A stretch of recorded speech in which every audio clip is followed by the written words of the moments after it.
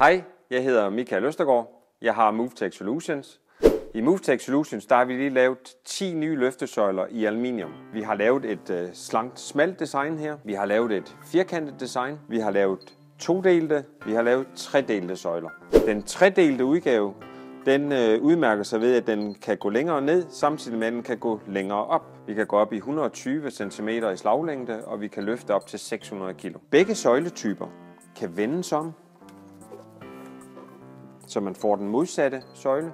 Vi har kabler, der kommer ud fra neden eller fra oven, kan man selv bestemme. Vi har øh, slaglængder ned fra 10 cm i slaglængde, og så vil søjlen cirka være 30 cm i højden, til søjler med 120 cm i slaglængde, og der vil søjlen kunne komme helt op over 2 meter, når den er slået ud.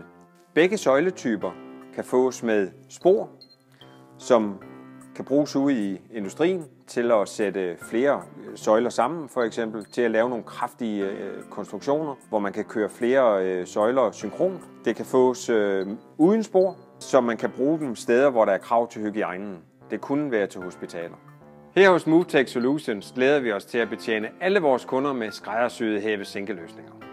MoveTech leverer skræddersyede hæve-sænkeløsninger til industrien, plejesektoren og til private. Du kan finde MoveTech på movetech.dk.